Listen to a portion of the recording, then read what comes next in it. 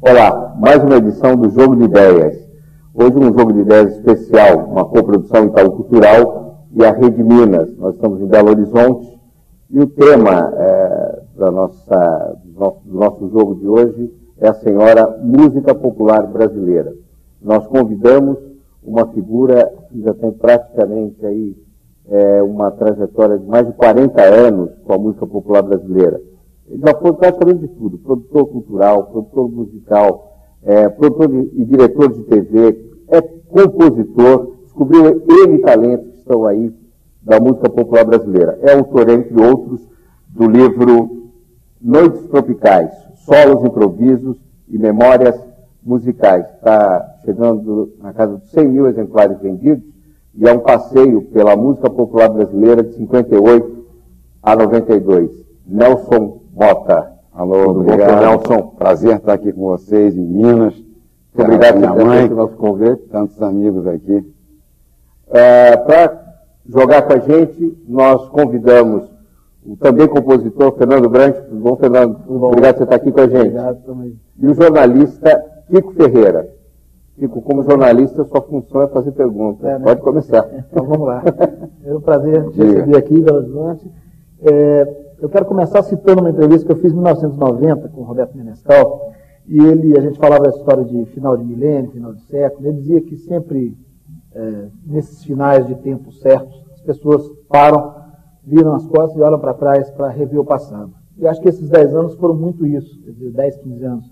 A gente está falando do seu livro, é um sintoma disso, dos usa, quer dizer, as pessoas estão efetivamente revendo o passado da música brasileira para pé e para o futuro. Queria saber se você concorda com esse tipo de visão e como é que você está vendo esse cenário hoje da música brasileira. Você acha que esse futuro já está chegando? Dizer, já é possível apontar é, é, como será o futuro da música brasileira e como é que você está atuando nesse momento, nesse cenário? Eu acho que é, aconteceu um fenômeno muito interessante com essa geração mais nova de, de intérpretes, compositores, é, que por acaso muitos deles são filhos de artistas, que é uma coisa também já não, nunca acontecia na, na bossa nova, no tropicalismo, na jovem guarda, no rock Brasil, nada disso. Tinha um ou outro que ninguém tinha a ver com música.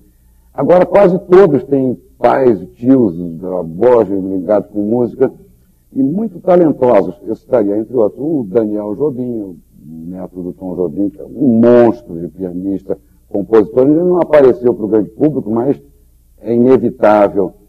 A Maria Rita, filha da Elis Regina, que é a coisa mais recente, o Max de Castro, que para mim é o compositor mais talentoso dessa geração, filho do Simonal, o Simoninha, o Pedro Mariano, o João Marcelo Bosco, é, tem muitos, o, o, Daniel Gonzaga, filho do Gonzaguinho. O que acontece com esse pessoal é que nos movimentos musicais sempre se fizeram negando o que veio antes. Era uma condição até de. Né, a, a bossa nova foi feita em cima é, para romper com Dorival Caymmi, com Ari Barroso, com a geração que veio depois, se acertam tudo também. O Rock Brasil caiu de pau em cima da MPB, depois se integraram todos.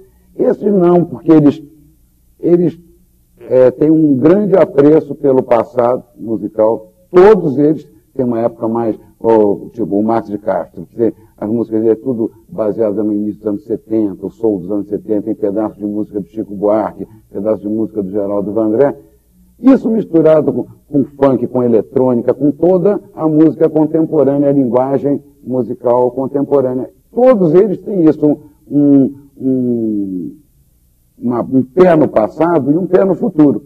Acho isso maravilhoso, porque o pessoal que ouve a Bebel Gilberto, no mundo inteiro, que a Bebel vendeu já 700 mil discos, 800 mil discos no mundo inteiro, só no Brasil que ela não faz sucesso, que é um velho ressentimento dos brasileiros com sucesso, Tom Jobim sofreu muito com isso. Isso é outro assunto.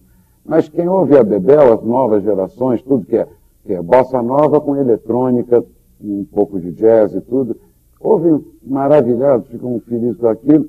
O que acontece? Vão querer ouvir o João Gilberto depois. Muita gente que, que nem conhece o Gilberto na França, na Itália, na Alemanha, por causa da Bebel, acabam conhecendo o João. Muito interessante isso. Nunca aconteceu na música brasileira assim, um fenômeno desse. E como é que você está tá atuando? Quer dizer, que, que você faz, seus, seus projetos agora e para o futuro?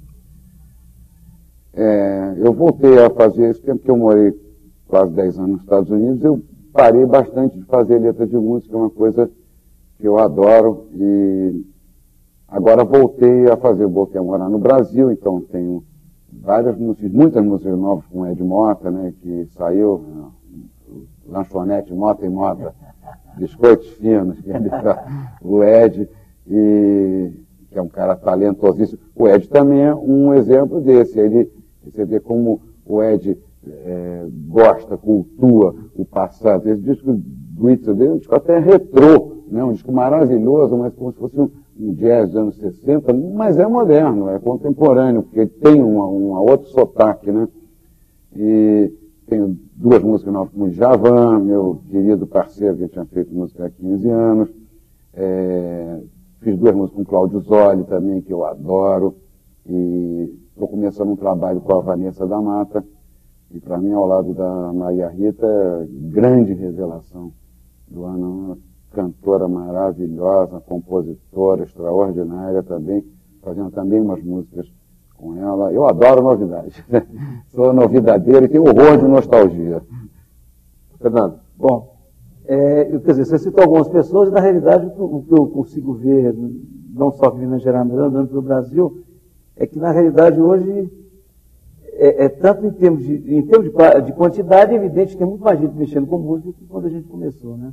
Mas em termos de qualidade, realmente é, continua muito bom, né? Que apesar de, de, de não chegar à mídia, à rádio, à televisão nacional, na realidade existe um movimento muito pulsante na música popular brasileira de hoje, a juventude que vem, e vem exatamente disso, com conhecimento do que foi feito antes, e, e propor uma coisa nova. O que você acha disso? Eu acho uma, uma, uma coisa maravilhosa para a música brasileira. Eu me lembro uma entrevista do Chico Buarque há alguns anos atrás, foi pouco antes do Tom Jobim morrer. Então, até isso influencia a resposta do Chico. Vieram para cima dele, que é, ah, Chico, você não acha que a música piorou muito? Ele falou, pode parar. Não acho nada, acho que a música eh, melhorou. Por quê? Porque, poxa, todos, o Caetano continua produzindo, eu continuo produzindo, o Toquinho continua produzindo, o Milton continua, todo mundo, essa, uhum. essa geração, e, e além do mais, tem todos os que vieram depois da geração do Chico. Lulu Santos, Marina, Lobão, blá, blá, blá, blá. depois Herbert Viana, blá, blá, blá. agora até o Marcos de Castro, Simoninha, Jairzinho, Maria Rita, Então, é, a música brasileira eu acho que está cada vez melhor. Verdadeiro, melhor porque tem esse, é esse patrimônio assim uhum. do, né, a obra do Tom Jobim, essa obra do Milton, obra do Edu Lobo, isso tudo. Esses garotos são loucos por essas coisas, loucos por Não, essas é, coisas. É, é, são de, às vezes, compositores como Doril, Edu, que são, são completamente fora da mídia, o pessoal novo é apaixonado, né? Adoram, né? Adoram. Eu lembro o Ed Mota, há uns anos atrás, tem, o Ed tem 30 anos, 29, 30 anos moleque, a gente, com a primeira música que fiz com ele, Ed, essa música tá maravilhosa, que era linda, uma coisa. Ele falou, é. Posso ir no táxi do Edu Lobo. Pode. Contei pro Edu, eu não morreu de.